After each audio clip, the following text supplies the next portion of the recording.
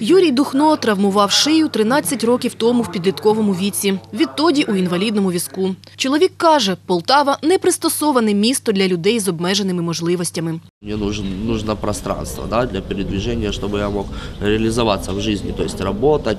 Есть элементы доступности, где-то есть пандус, где-то доступный туалет, транспорт, остановка с бордюрчика, какие-то заведения. В целом не- недоступности нет.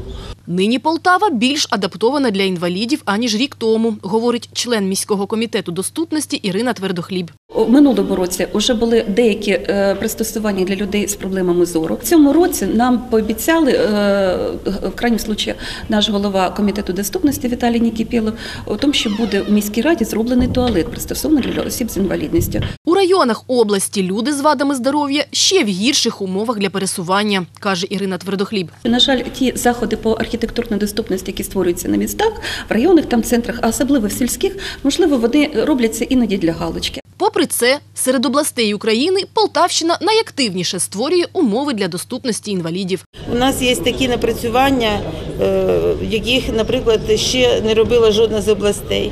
Ми, наприклад, дослідили в Кременчуці е, доступність е, дорожньої і транспортної інфраструктури.